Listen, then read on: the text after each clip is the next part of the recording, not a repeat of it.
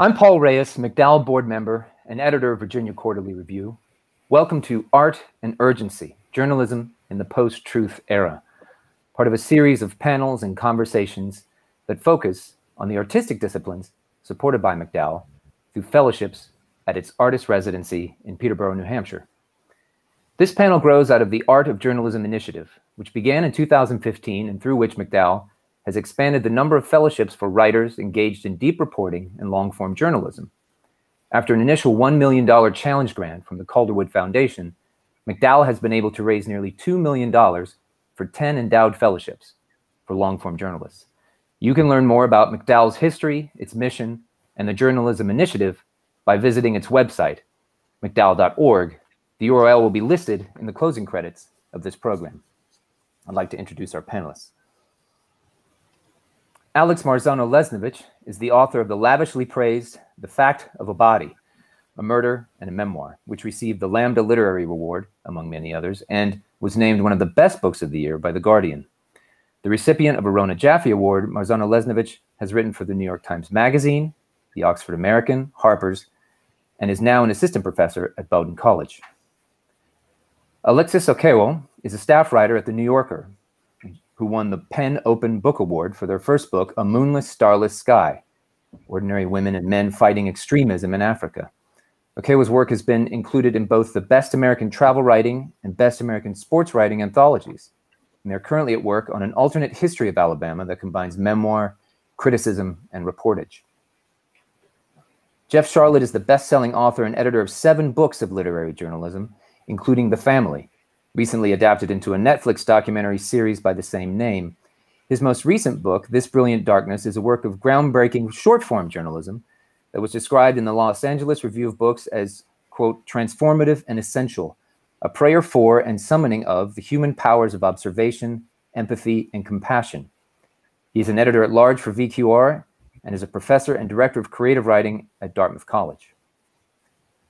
Meera Subramanian is an award winning journalist and author of A River Runs Again India's Natural World in Crisis, a 2016 Orion Book Award finalist. Through her work, she has explored the disappearance, disappearance of India's vultures, questioned the idea of the good Anthropocene, and investigated perceptions of climate change among conservative Americans. Last year, she was the Barron Visiting Professor in the Environment and the Humanities at Princeton University, and she is currently serving as the president of the Society of environmental journalists. Thank you all very much for joining us and coming together today.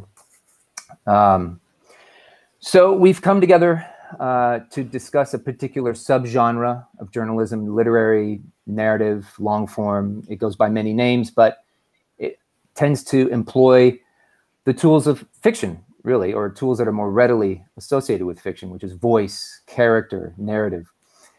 Uh, and because this type of journalism is more clearly driven by personality, uh, the personality of the writer, say, more than newspaper reporting. The writer must be aware of their personality and the degree to which they invested in the story that they're trying to tell. And all of you, to varying degrees, uh, have invested your presence in a piece of reporting uh, or in telling other people's stories. So I wonder, Alex, I'll begin with you. Um, how do you determine where you belong in a story, and how does that manifest?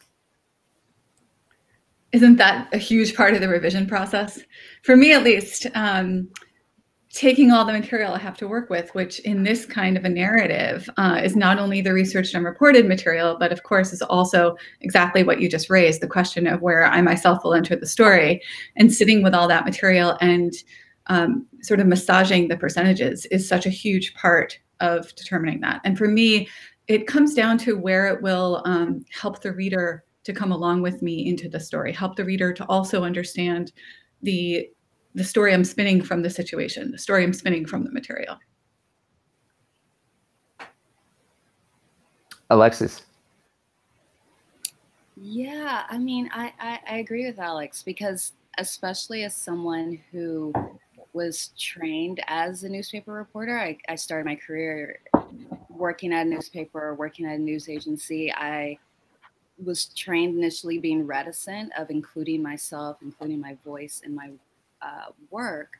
Um, and as I got into doing long form uh, and more narrative feature writing, I thought it was best to um, I, I guess just be just be really rigorous about where to use my voice to make sure that it serves a narrative, that it moves it along, um, that it's hopefully always illuminating uh, in terms of uh, revealing what I want to reveal about the story or about what I'm um, trying to say through my subject stories.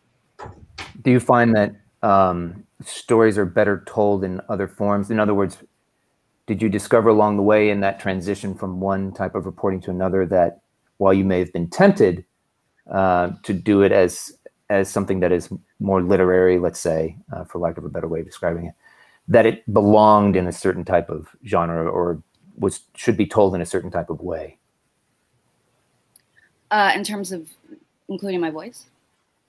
Yeah, or you know, if it does something, you know, you could be tempted to tell a story uh, with more memoiristic elements because you have shared experience with the subject, um, but there's a choice to pull back, um, regardless yeah, of the temptation to absolutely. be involved.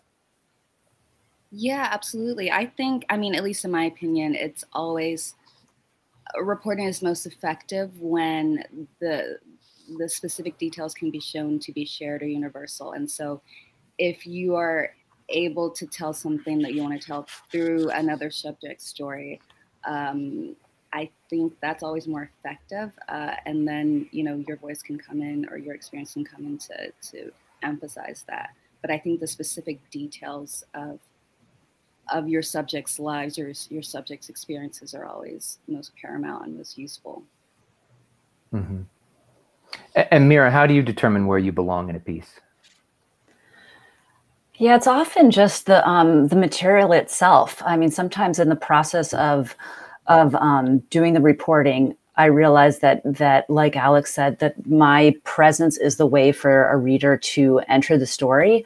Um, but there's a lot of times when I've been out reporting and I have so much material and it just stands by itself and i can just be this invisible um, conduit mm-hmm. for that. But but often it it does i find as a reader that i appreciate knowing who's taking me on this journey. I think the um, the recognition now of how much we're all biased in in some way form or fashion all the time. And so that transparency about who you are and where you're coming from i think is um, helpful for readers still coupled with the deeply rigorous, you know, newspaper trained journalism, uh, fact based, mm-hmm. reported, researched, but also um, that transparency. I mean, it was part of why I, I studied that form of journalism in school as opposed to just the straight newspaper science journalism. Right. And and Jeff, you seem to have kind of covered all the bases in terms of where you position yourself in a piece. Um, I wonder how you how you make that determination if you go in predetermined or if you discover it along the way? I, I think I I sort of approach it as a distinction. There's the question of my voice, and then there's the question of my body. Um, and and the voice is always there, right? Um, or, or you're always trying to get to your voice to write to write as yourself, not to write as an avatar of whatever publication mm-hmm. you're writing for. The question, the more difficult question, is when does your your body, your physical presence show up in a story? And I think about two examples. One in which I uh, I was reporting in Russia on uh, Putin's anti-LGBTQ crusade, and um, and I sort of come into the story uh, only in two places. One where a Cossack, um, actual Cossacks like Fiddler on the Roof Cossacks, um, decides to sort of demonstrate his power by pointing a gun at me, you know, and he then pointed his gun at a reporter is a little odd. It, my fear, my body and my fear are, are relevant there. And I think of another mm-hmm. instance. I was reporting on Skid Row on a killing of a, a LAPD killing of an unarmed uh, uh, black man named Charlie Africa Keunang. Um, in the process of that reporting, um, I got uh, police decided to throw me up against the wall and you know uh, and everything else. And so my body was there, but I did not include that in the story um, uh, because that kind of violence was so omnipresent in the relationship of the police to Skid Row. It added nothing. I didn't need myself to show that. It, it was there every day. Um, mm-hmm. uh, so it's sort of this question of w- w- when you yourself sort of emerge from from the surroundings to suddenly become whether you like it or not. When someone's pointing a gun at you, whether you like it or not, you become the story. Right. Well, the, the Cossack reminds me of, um, you know, another aspect of this and, and the degree to which you all do get involved in your stories. Um, it, you know, it, it highlights another reason why I'm drawn as both a writer and an editor to this particular type of journalism, and that is that it's not prescriptive or didactic.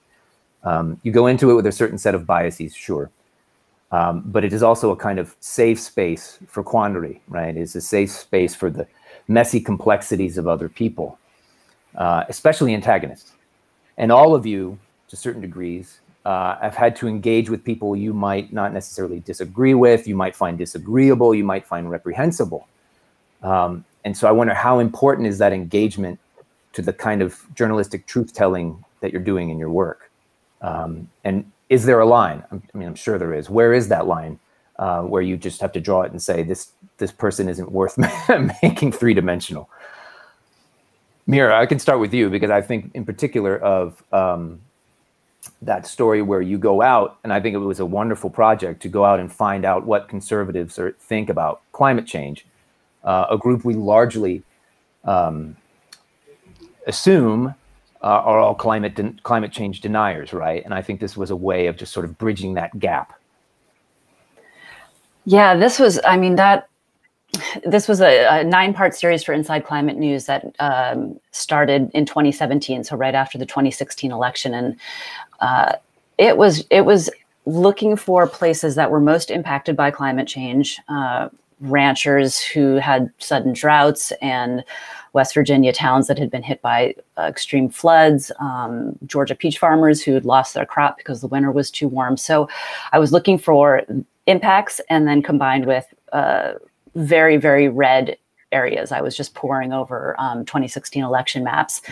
And so I went to to just talk to them and it was really at, about finding out what they were experiencing because right the media does kind of paint that picture that that anyone who voted for Trump is a climate skeptic or denier and I didn't find that mm-hmm. at all I found it was way more complicated than that and um, I mean since then uh, there's a Amanda Ripley wrote a piece about complicating the narrative, and it's been a really um, it was what I was doing out in the field, but she wrote about it so beautifully, and she has like 22 questions that journalists can ask themselves uh, and take out into the field, and really. I would say not just journalists, but everybody about how to listen, about how to really get into the motivations of what people are, what what's driving people, because that is often what is missing in um, in a lot of representations that don't have this nuance and don't engage with antagonisms. If you're just looking for a, a quick quote, and if you're looking for the mm-hmm. the extremes of the story, and what I mean, Yale Climate for Center Center for Climate Communication has been studying per how people are reacting to climate change for for more than a decade, um, and all the stories are usually about the people who are like super dismissive or deeply alarmed. And but the reality is that so many people are living in that space in between. And that's what i was finding when i was out yeah. talking to farmers talking to ranchers talking to fly fishermen. Um, they're seeing changes uh, but they're they're uh, often the questions are framed in a way that puts them in a very defensive stance and then there's no there's no room for nuance there so trying to write in a way that gives them um, their humanity and gets to real, reveal some of their motivations for why they might buy into a certain narrative that's being put forth, um, it can be really instrumental. Yeah. And Alex, you had an interesting, you know, I want to pivot to you because your book, The Fact of the Body, really engages this issue uh, with it with a certain intensity. Uh, and I remember one of the things you had talked about in that book was that um, a kind of a metaphor I like to use with writers um, about the gray area, and you talked about that binary uh, as a you know comparing it to law. Um, and you can correct me because I'm going to mangle a little bit, but it was about people either good or they're or they're bad, but they're not in between. Um, so I think you have an a fascinating perspective on how to engage these um, these antagonists. I was thinking about that with exactly that with what Meera just said about the idea of duality, about holding duality. So I was writing about a man named Ricky Langley, um, a convicted child molester and murderer, uh, who is those things and is also a person with a very complicated history. Um, mm-hmm. And Paul, when you posed the question initially, uh, the moment that was coming to mind for me from the fact of a body was uh, that I was writing off of these 30,000 pages of court records. And it meant that at moments when I was reading through the records, my emotions were so present in the room with me, right? Because of things in my own life, mm-hmm. because of things in my own past, that there were moments where the emotion, then the complicated dance between emotion and revulsion, frankly, at times, and fear and judgment, but then also um, empathy and the way that if you spend that much time with anyone, you start to have moments where you empathize. You're looking for that. Yeah. You're looking for that. And that's your job in some ways as a writer when you're rendering them as a character. Um, it caused me to interp- misinterpret something, a, a, pretty basic and horrifying fact. And, hmm. you know, I had a, a choice that I could make in the writing where I could either pretend I had never misinterpreted it, I had always understood it the way I eventually came to learn was the truth. Um, but I chose to put in my own mess up, my own slip. And I did mm-hmm. this to bring the reader with me into the complicated ways that emotions affect the way we perceive things. So I think that including subjectivity and including the even the missteps that sometimes subjectivity helps you make can create something that is truer to the truth. I don't know how else to put that, but is more uh, fastidious about the truth. Right. Alexis, do you find that when you're doing, let's say, your more straightforward pieces of or straightforward reporting, that you're tempted to want to in, include this degree or this quality of messiness or this this complication, but don't necessarily have the room for it, um, or that it, you know, how do you navigate that? Well, I mean, I, it's interesting thinking um, like about what Meera and Alex have both said about um, the gray area and about motivations because I feel like I've actually been, especially over my time spent reporting in Africa, drawn to subjects and stories that explore that. Um, in my 1st mm-hmm. book, two of the stories were about people who I wrote about as being both perpetrators and victims. Um, you know, one story was about um, a couple who were first forced to be child soldiers in Uganda um, and while they were, had committed some atrocities, but of course had been victimized themselves. And I had also written about vigilantes in northeastern Nigeria who were fighting against a terrorist group, um, which was admirable, but who were also guilty um, of their own abuses against civilians. And these were people that I got quite close to over the reporting of these articles in this book. And you know, I was interested in the way that people are both good and bad. Uh, and, you know, at, at one point can be victimized, and another point can be doing the victimizing, and how that only makes people more human. Um, and so I think, especially in that book, though, it was the first time because some of those stories had started as articles where I, my present wasn't really in the pieces. But then in the book, um, I did bring myself in to explain how I met these people how I'd spent time with them, my own sort of personal perspective on their lives, because I thought it was important to include that transparency. Um, yeah, to kind of, you know, to kind of break down the the the, the wall a little bit and to show, mm-hmm. um, you know, that not only the the nuance of their lives, but the nuance of how they, they tell the stories of their lives, um, because I thought that would be more interesting. Um, and so, yeah, when we're talking about how to write about antagonists, I think in a lot of my work, I've tried not to think of so called antagonists as antagonists because I think right. it's more important to think again about their motivations. You know, even when I was reporting um, in Eritrea, which is basically a police state um, with a government that's pretty hostile to the press, um, I tried to interview as many officials of the government as possible because they do have a very traumatic emotional history that kind of led to the fact that they are so, you know, to explain why they are as repressive as they are now. Uh, and so, even though they didn't, they still don't like the story after it came out. Um, I thought it was important to, to you know, explore where they were coming from. Well, that's always an interesting uh, conundrum, right? I mean, that's always an interesting struggle: is to tell it fairly um, and to do it honestly um, with with all of the sincerity that you can invest in that, um, and for them to still be unhappy with the results. And you get them to trust you, um, and you will stand by um, the integrity of what you've written. Um, but nonetheless, they're they're disappointed, um, and it may be because they they see a different version of themselves, or they are very much aware of a particular narrative that they want to maintain, right, or a perception that they want to maintain. Um, you know, Jeff, you're in in unique uh, sort of unique circumstances here because you've been uh, you've had a, several pieces, I believe, um, recently, where you attend Trump rallies and engage with um, Trump supporters as a way to. Well, I'm not going to sort of tell you what your your purposes were, um, but I wonder if you could speak to that because they've been very compelling pieces um, of sort of giving us an idea of what the this, the atmosphere is like. Um, and I think they're unique in their depth of engagement. Yeah, that. Uh, I mean, you can tell me what my purpose. My purpose is. I, I I'm against Trump. I, I have never. I never have any problems with that kind of like going in. I have a bias. I remember actually reporting years ago on um, uh, uh, uh, genocidal anti-LGBTQ initiative in Uganda, this American-backed anti-homosexuality bill, and American right wingers saying Sharlet shows his bias. I'm like, you, you got me. I'm against genocide. you, sniffed me out. Um, uh, and and the, and the same with the, the, the Trump stories, I guess, except that um, I mean, I even think of the, there's a piece that ran in Vanity Fair a little while ago called uh, "The Second Coming" about Trump rallies this last fall, and I, I was sort of interested in seeing. I had done the same thing in 2016, sort of traveling around, looking at them as as religious events, going not as press, but just sort of part of the crowd. And um, uh, and I went, I wanted to see what had changed, and and so I wrote it for Vanity Fair, and I think these people are pretty frightening.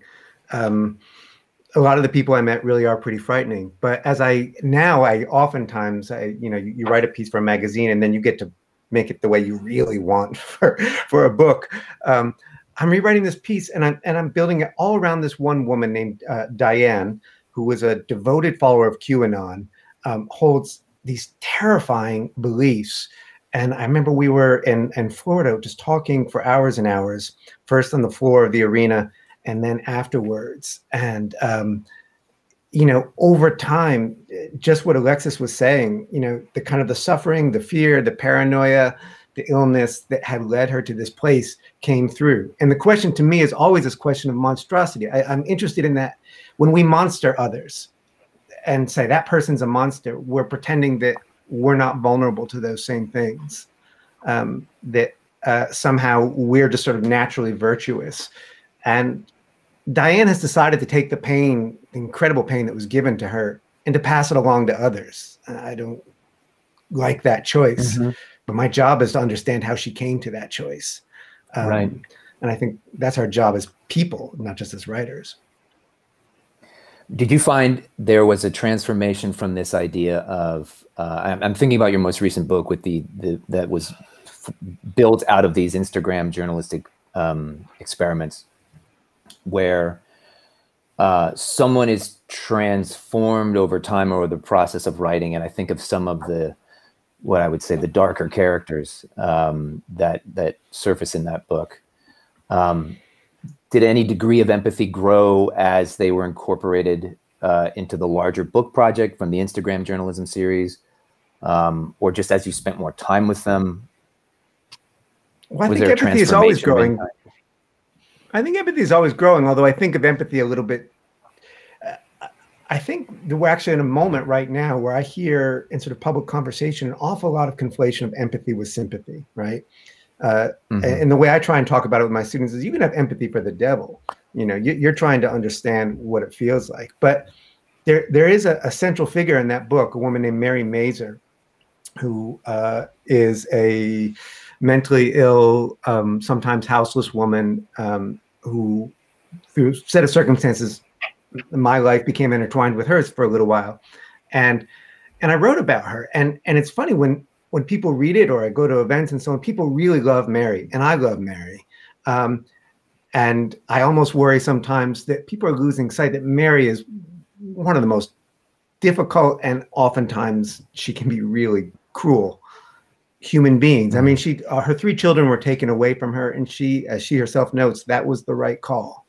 Um, uh, and but my empathy grew for her, and I think in the context of the book, yeah, the more time you spend with this person, um, the more the more you see the sort of common roots of suffering.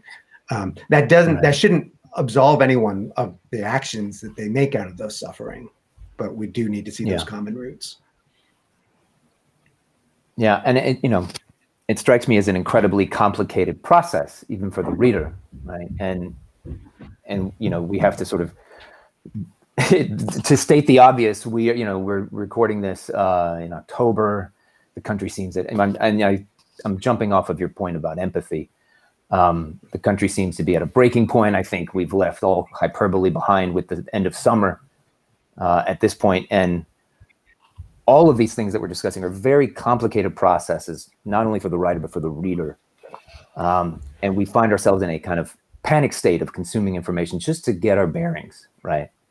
Uh, and so one has to ask, is this kind of journalism that we practice a luxury? Um, you know, what makes it indispensable uh, right now? I think that's a fundamental question of why we've why we've gathered in the first place, right? Meera, you, took, you can, that's it. it's a heavy question, but I'll, I'll, I'll, jump it in your lap first. It's it's absolutely necessary. I mean, we are. I think we're all um, vulnerable as journalists and as humans to be trying to keep up with you know what has become more than a 24/7 news cycle. Uh, we're trying to do that as citizens. We're trying to do that as humans, but um, uh, but we need context. Humans are are aching for context of um, what all these what all these things mean and how they um, connect and how they don't connect. And I think that is that is absolutely where the role of long form narrative journalism it brings together storytelling, which is the fundamental way that we understand our worlds is through the stories that we tell each other um, and any way that we can i mean getting the attention getting people to sit down and read that is definitely the challenge but i think that we need these stories to help connect the dots. I mean i'm thinking so much about uh, i've been thinking about environmental issues for 30 years but uh, how the climate crisis has come to bring together all these seemingly disparate things that i've been interested in and covered uh, for so long that's my role as a journalist to help connect those dots for other people who might not see that. Um, I mean, just as like the pandemic has laid bare uh, the disproportionate impacts on people of color, on people with fewer resources, um, how there's these multiple impacts from extreme weather coupled with inability to access healthcare, combined with how the police are dealing with uh, and authorities are dealing with crises. All of these things come together. The pandemic has laid that bare, but um, climate change impacts are going to do that same thing for the long run. So, how do we as storytellers make that real to people? Because we are not very, we're very good at stories, but we're not very good at long term thinking, right? So, how do we, through this more nuanced uh, form of storytelling, help make those worlds visible to people and, and make them real. Show what what the impacts are show what it means to to deal with them. Mm-hmm. alexis um, i want to pivot to you because you know I, am curious to know uh, with your work at the new yorker and you, are often in that cycle in, involved in the cycle in the news cycle. Um, you know, we can sit here and, and talk about the virtues uh, and how this type of journalism is indispensable.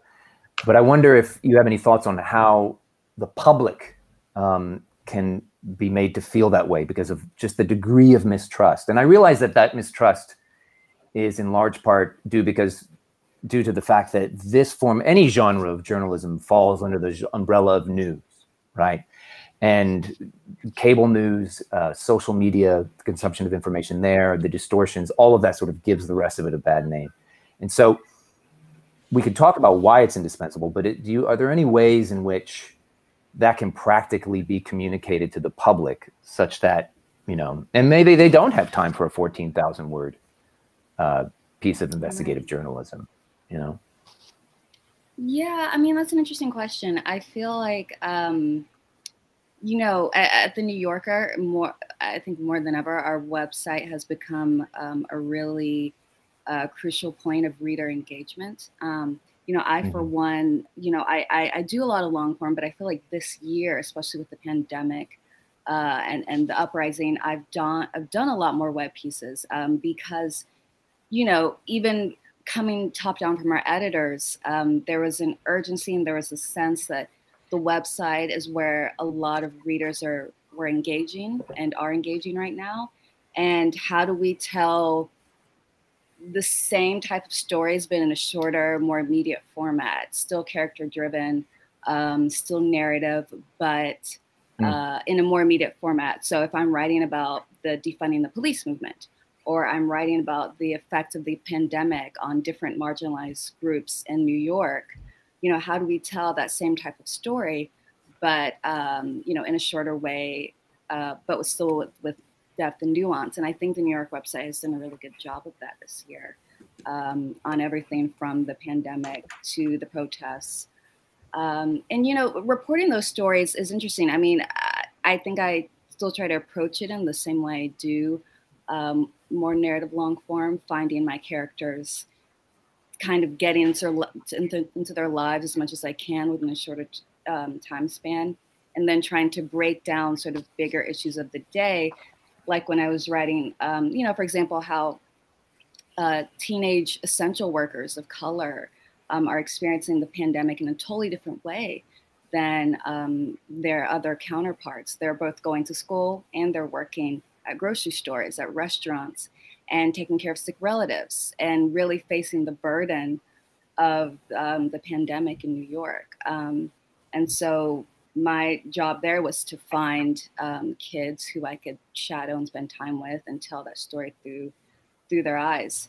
And then, you know, the same thing when I was writing about um, the defund the police movement. You know, what does that look like on the ground? Um, it means going to spend time with um, violence intervention groups in, in Brownsville um, and seeing what it looks like on the ground to be um, you know, dealing with crime in, in a high crime place and also dealing with um, abuses from the police.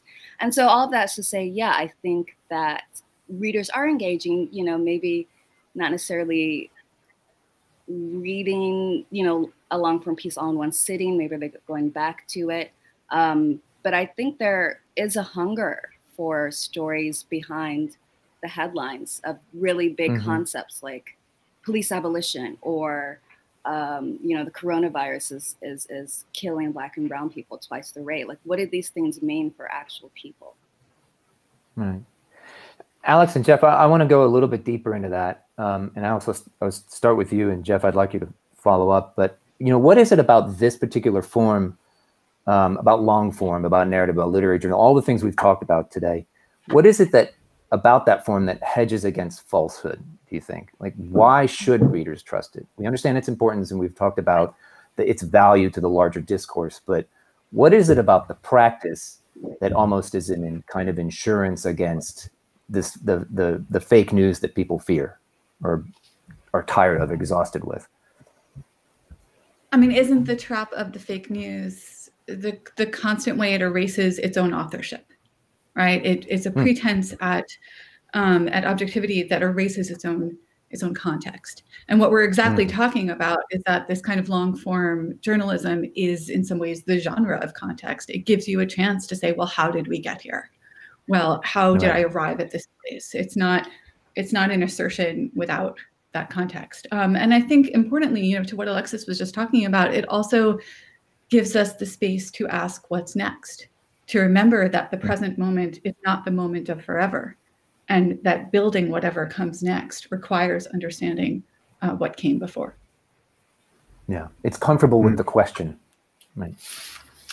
Yes and takes on that question um, comfortable with it and is is comfortable settling in dwelling in the question and understanding that the question is probably not new that there have been permutations um, and relationships to power that are necessary over time. I'm thinking the project I'm working on now, the book I'm working on now, called which is called Both and Neither, which is a history of the gender binary as well as an inquiry as to sort of what happens next. Um, we're in crisis in the moment, right? So there are all these attacks on trans rights. There are all these um, rise of TERF thinking, certainly, for example, in the UK, although here as well. Um, and the present moment may be one of emergency, and you can get caught in this like reactive, reactive response, this quick reactive response that prevents you from thinking, okay, how did we get here, and also where are we going? And so this mm-hmm. genre gives us a minute to ask the larger questions, and out of that, build something new. Build something new that is right. also old. Build something new that holds space for us all going back to this idea that it rather than being prescriptive it's uh, very much about the process of asking yeah yeah um, yes which in itself is a more honest approach i think. Yeah right. Jeff?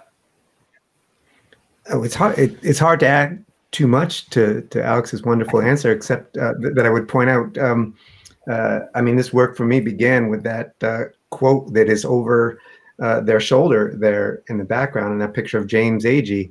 Um, and the cruel radiance. You can just see the word cruel very largely, but of course that right. quote is the cruel radiance of what is. Um, to make sure I didn't mangle it, I just looked it up. Uh, for the immediate world, every in the immediate world, everything is to be discerned with the whole of consciousness, seeking to perceive it as it stands.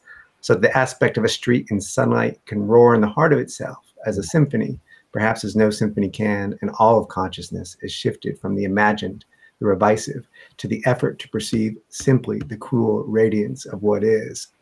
And I've always loved that, although only over time did I come to understand that it's simultaneously true and inspiring and horseshit um, because he it's revisive right there he's talking he's speaking in metaphor and um, which is another kind of of, of, of both and um, of this work of of uh, of art in fact, um, and of work that foregrounds that always, that says that foregrounds this sort of perception and the failures of perception, like what Alex was saying earlier about including that uh, that misstep in their perception. Um, that's a much different endeavor than the newspaper that promises to publish a correction um, the next day. Right. That what we're actually trying to document is the very act of perception itself which is ongoing and doesn't have a resolution and is in the deepest sense journalism as in a journal something that doesn't have an end. There's no newspaper that says well that's it we've covered it. There's always the next day. There's always the next step in perception. Yeah. Yeah. And to, yeah i love that quote um, and i and I agree with you 100% on all counts. But I, you know, it's it's just fascinating the earnestness with which it, it is done, uh, and which he's you know the earnestness of his own self doubt. I think is is such a fascinating thing to observe in that book. Um, we have some. We asked for some questions from the the public, uh, and we got some terrific questions. And I want to make sure we have time to get to those. Um, they they're they're extraordinary, uh, and I we really do appreciate uh, the degree to which people had have submitted questions and uh, have engaged with this topic um, with us. Um, I'll start with this one. This is an interesting one. Uh, all of you have written very difficult stories, uh, and I, and to the to degree that you're comfortable answering this, um, one question is: How do you take care of yourselves, of your of your own well being, your own psychological, emotional well being, while diving so far into so many of these difficult stories that you tell. Um, Self care for journalists, I think, is an important uh, issue, especially in these times. Um, any one of you can can jump in, or I'll just start with Alexis. I knew that was going to happen. Um, well, you know, I well, I mean, I have a great therapist. Shout out to my therapist. Um, and also, I have um, like a really good group of friends who are also journalists who also do similar types of stories. And we stay in constant touch, talking to each other, um, you know, about the work we're doing and also how it's affecting us. And a policy I, I used to have when we could actually travel more is that when I would go report uh, abroad, whether it was abroad or somewhere for an assignment and like do all that work and then come back and write, I would always take some time off off after that. Um, I would make sure, even if it was just a week, just to kind of decompress, especially if it was a particularly dark, dark or traumatic story. Hmm. Meera, you you you you seem to be covering uh, our inevitable um, demise as a planet. How do you how do you keep your chin up? Yeah, um, not very easily a lot of the time. Um, I try to just remember that the the heartache and the sadness that comes from covering covering the environment at this moment in time um, it's just the exact flip side of of loving the place that we live uh, so mm-hmm. so i try to enjoy that as much as i can i mean um, as much as it's been uh, I've, I've never stayed here at my in my home in Cape Cod where I live supposedly year round, but I'm usually gone most or part at least chunks of the year, and I've just been here since March, and it's that's translated into an entire gardening season of starting things from seed and uh, and seeing mm-hmm. the birds arrive and spend their summers here and then leave for their wintering grounds, and uh, so being part and and present for that kind of thing keeps me uh, keeps keeps me going definitely in terms of just trying to remember that there's still a lot of beauty in the world and and it's my job to seek it out as much as I'm covering all of the stuff that puts all of that in, at peril. Right. Jeff and Alex, do you have any routines, any rituals to of maintaining your sanity? I, I was thinking about that question, Paul, because it's so central to um, to the last book that I wrote, "This Brilliant Darkness," which is a lot about that. And I was thinking, boy, I should have a good answer for that. And then I realized, no, that's just the point. Um, uh, I mean, that book was in many ways a sort of a slow motion suicide note. And then, as I was writing what I believed at the time to be the last sentence at 44, I had a heart attack. So I don't have a, I didn't do whatever these I'm listening to this good advice because uh, uh, I didn't do. I mean, you know, I had lots of terrific rituals: drinking, uh, speed. Um, you know, I mean, stupid things, because you felt this urgency of doing the work and as much work as you could. Um, uh, and um, I don't think that was wise. Um, hmm. And I think now, as I sort of as I look at this sort of long haul, you know, the, the, you and I were talking about this before, Paul, and talking about this, you know, like, can we do long form journalism now? And I think of this as very much a long game. Um, no one's going to tell right. the the story in a news story or a long form story that's going to make Trump go away. And if Trump disappears, there's a new level of authoritarianism in the United States is going to survive. So now we think, okay, how can I keep telling stories and survive and endure whatever my circumstances, whatever my relationship to oppression is? Um, and that's the urgency. The urgency. If you, if, I think if people can recognize that the urgency is taking care of yourself to survive and keep telling stories. Um, but that's not a ritual. That's, yeah, right. No, Alex, I mean, my way is in the other room so she doesn't get on the call. Very, hmm. very, very large puppy who has no idea what's going on in the world, doesn't care, needs to go outside all the time. So the classic relationship between writers and dogs, I would say. Right. but what yeah. Jeff said, just remembering that, you know, self-care is part of the endurance act that is necessary right now. Is part of is part, yeah. that self-care is part of the work because it lets you do the work. Yeah. Well, speaking of the work, there's there's another um, the next question. Um, in a reported piece of nonfiction that uses literary and creative devices, how does a writer use both without sacrificing the integrity of the other? For example, if a passage could be written more beautifully and therefore more be more artistic by omitting facts, which may change how the reader understands the story, should the writer do that? Is that ethical? We're always omitting facts. Every single yeah. every single goddamn story, you are building a frame, and there are right. things being left out, and there are things being put in. So, it's you know getting at the Don't let the fundamental in heart. the way of the truth, right? But, But Mary, you wouldn't say that we should. Oh, Oh well, no. I was just gonna say a quick thing that just that sometimes I feel like sometimes the beauty of a passage can be enhanced by the specific details. You know, Yeah. like instead of um, I think some people think sometimes of some things more sort of vague or grandiose that sounds better, but actually I think the beauty comes from that spec you know Yeah. specificity. Yeah. Right. It is using them with precision, not necessarily. It's because it's not a white paper. Um, it's a story, Right. and so some, yeah, there are degrees of to which degrees of importance. But there's a different. I mean, the And there's beauty of difficulty too. Oh, sorry. Uh, Oh, go no, ahead, no, Alex, go ahead.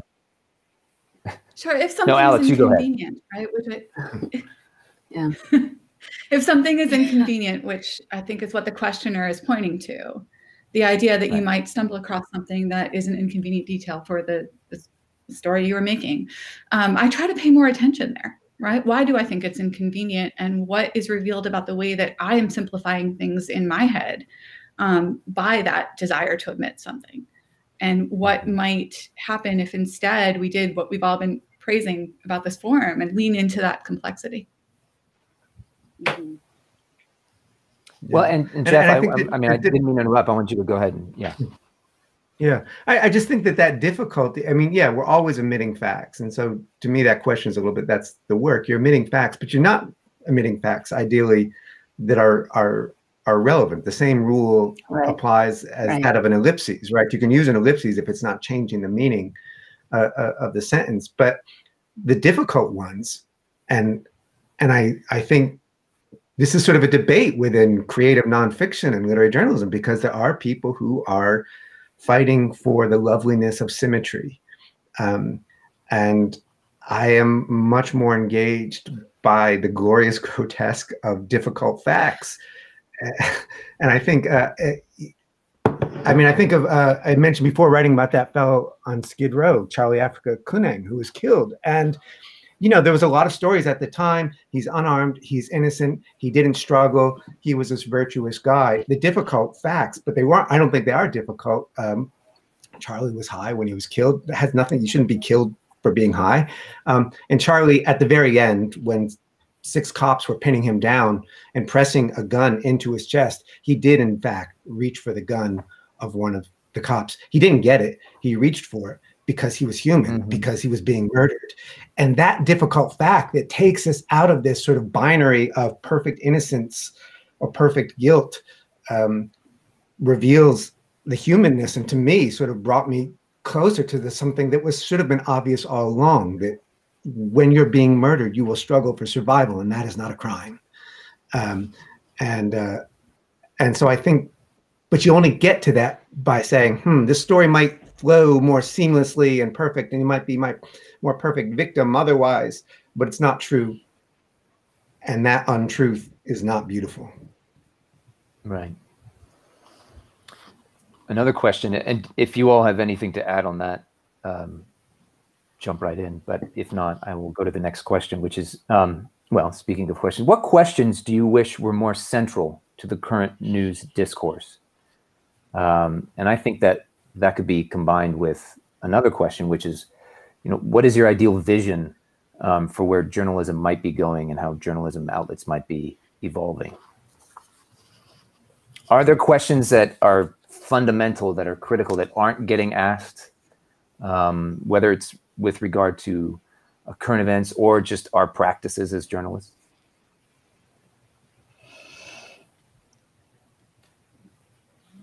So much is breaking Right. down right now it feels like within society and within journalism and my you know when the when the light side of me is overpowering the the darker um, moments of what i think you know we could be heading towards uh, i think about just new, new more multi-genre more um, explosive collaborative ways of working and approaching storytelling. I mean we we opened that door uh, with social media with you know blogging at the beginning of just everybody being able to tell their story. Like can that evolve into something that still gets back to um, more of the the tenets of of journalism and fact based, but people are are it is more democratic um, and getting getting those stories out there in a way that are that that reach people that everybody can be telling their own stories, but in some way that is not just the free for all that we are having. That uh, algorithms are directing us towards the most um, the falsehoods and the the most uh, extreme types of views. I don't know if that's possible, but that's that's a hope. Mm-hmm. Jeff, Alex, Alexis. I mean, I'd like to see just more. The, uh, this sounds self-serving. The more of the stories that we all tell, um, but which is to say, stories that um, uh, center the human beings and their complexities, rather than the human as illustration of an abstract issue, which can then quickly cut to talking heads on on CNN. So I think of Meera's incredible reporting on climate change, which is right at the, the forefront of, to, in my mind, with, with writers like Emily Raboteau and uh, Elizabeth Rush in terms of saying climate change is not an issue that you can say yay or nay to uh, only. It, it, it's it is this thing that is happening in people's lives, and what does that look like? And I, I I want journalism to do a lot more of that. And right now, I think that we're we're responding to the urgency of the moment with a lot more abstraction, just when I think we can least afford it. Mm, yeah. Um, you know that that brings me around to uh, another question. Um, how has the landscape changed for journalism since you began? Um, and I wonder how you've adjusted your practice um, to to respond to that. Um, you know, this is a radically different media landscape than it was uh, five, ten, certainly twenty years ago.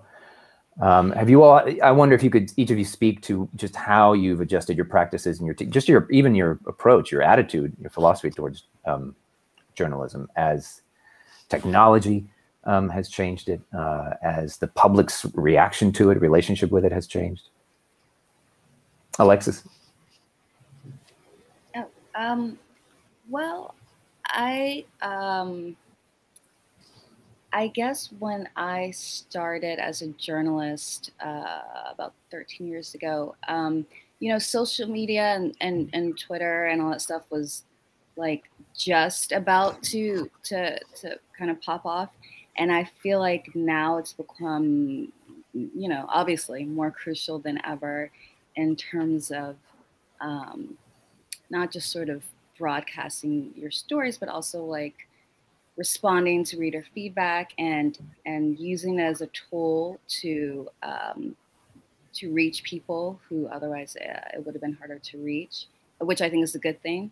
Um, and I think that you know it's interesting. Like the project I'm working on now um, is about uh, my home state of Alabama, and it has a lot to do with the others, what what the others have talked about in terms of trying to in some cases talk to people who have views who are opposing to mine and but trying to get at their motivations and to kind of get at their complexity. Um, and i think that's become harder because of uh, the way the press has been painted especially in places outside of uh, the northeast outside of coastal areas. And so that's been an hmm. added difficulty.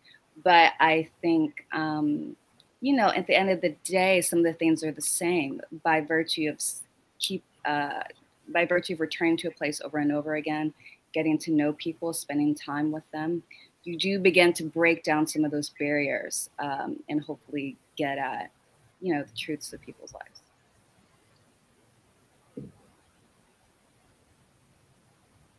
Jeff, I wonder if you have a some perspective. I think you and I are are sort of the. You're politely saying I'm the oldest one here. I'm not. I'm not the oldest one, but I've been. You're not. I, I'm not. But but um, but I knew you, Meera, when you were just getting into things. Into um, it's true. Um, which is actually another perspective I would love to hear because you have lived a life in some ways as an activist and as a journalist, and um, uh, um, but from my, you know, I, I think like Alexis, you mentioned social media. I think my first book I sold September 10th, uh, 9/11 was always very easy to remember that, uh, uh, or September 10th, 2001. And my co-author Peter Manseau and I had a website, uh, Killing the Buddha, and we sold it by telling publishers. We went around all the big publishers, all believed us. And they said, "Do a lot of people read your website?" And we just said, "Oh yeah, yeah." Incredible numbers. And this was back at a time when they're like, you have a website, we better give you a book contract. It hadn't occurred to them they could actually check the traffic on that and see that for our small online literary magazine, there was not such traffic. Um, but I mean, that's obviously the biggest, the biggest change is economically has been amazing. I mean, the over over my lifetime um, as a journalist that uh, the only good news there is I think the devastation of media and media outlets has been so vast that we're almost back for media, at least in the sort of 1930s like moment, which is the age of the little magazines. And when it is so much more difficult um, to make a stable living as a writer, that you might as well write what you want because betting what's the way to you, you might as well write what you want and get another job, I guess, which is not very inspiring. Um, but just like in the 1930s, I do think there is this the kind of flowering of creativity um, because we're not all channeling toward the same sort of legacy publications uh, in the way that you could much more easily 20 some years ago. Alex, um, do you what do you see in terms of looking ahead towards the you know how does the horizon for this practice look to you? I love what's happening in creative nonfiction and in literary journalism, where we're having more genre experimentation. And where it mm-hmm. seems to me that in response to, um, in response to the, all the sort of fake news, uh, whatnot, um, there is simultaneously a push to be very clear about sourcing and be very clear about mm. no um, something is a fact. And that feels a little bit new in creative nonfiction. You know there was i, I do feel like the work that was being produced maybe 20 years ago um, was a little mm. bit looser with the facts. Yeah. and now there is a real concern to not give that away right? But at the same time then there still has to be a way to make room for the subjectivity for the interpretation for the layering for the fragmentation. And i think we're seeing that in like i said more formal and genre experimentation which is really exciting to me because of what it offers the ability to capture about um, to refer back to something Jeff said earlier about the process of perception or and about the experiencing of perception and to make space for the human. Wow, that's great. I think we'll end on that note. Uh, I want to thank you all very much uh, for joining um, and for coming together today. Um, and um, yeah, thanks for the work that you do uh, and do what you can to do it, you know, practice as much self care as possible in these times. Um, and thanks everyone for joining us for this uh, for this panel. And um, you can again uh, visit uh, in the closing credits. You will find information related to uh, that includes, excuse me, um, the URL MacDowell.org, where you can learn more about the Art of Journalism Initiative, as well as MacDowell's mission, uh, its history, uh, and its programs. Thanks very much. Be well.